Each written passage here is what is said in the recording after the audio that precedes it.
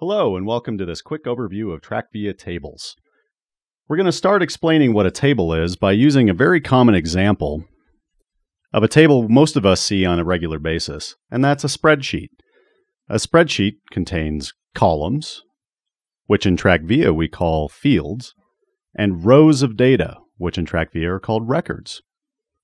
So let's have a look at what a table or a spreadsheet looks like in TrackVia. Down here, you can see this familiar grid formatted layout of that same spreadsheet we were just looking at.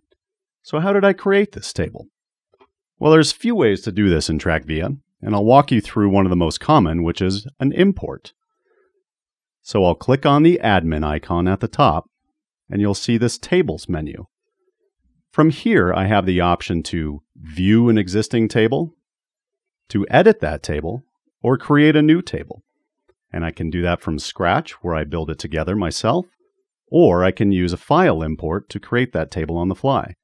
Let's choose import so we can show off some of the features of import. So the first thing I want to do is name the table.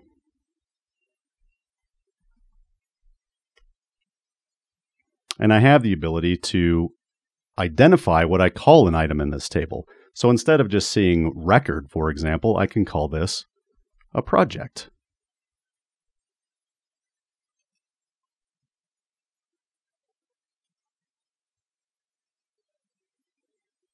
Now what's unique about this import process is I also have the ability to link this data to an existing table in my system. So what that allows me to do is take a single record from my projects table and link it to my companies table, which I already have in my app. So what this allows me to do is link multiple projects to a single company through this single import. So I'm going to select my existing companies table, and you'll see that I need to have the field customer in my import file. I'll map customer to my company's customer name,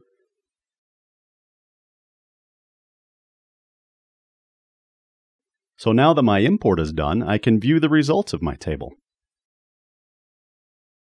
So now you can see I have my full spreadsheet of projects represented as a track TrackVia table. And this view should be familiar. This is uh, very similar to a spreadsheet view where I can directly edit the information in these cells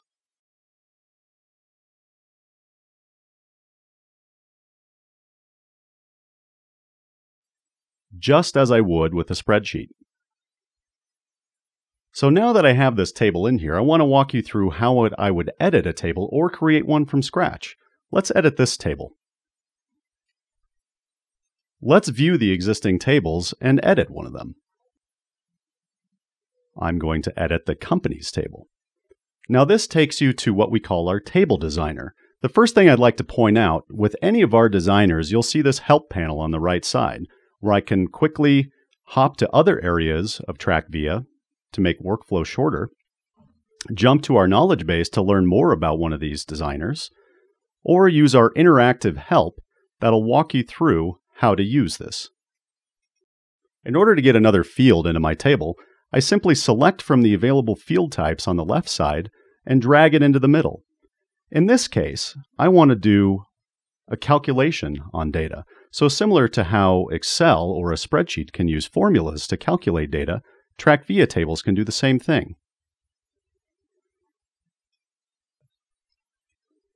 So in this case, I want to add my two currency fields together.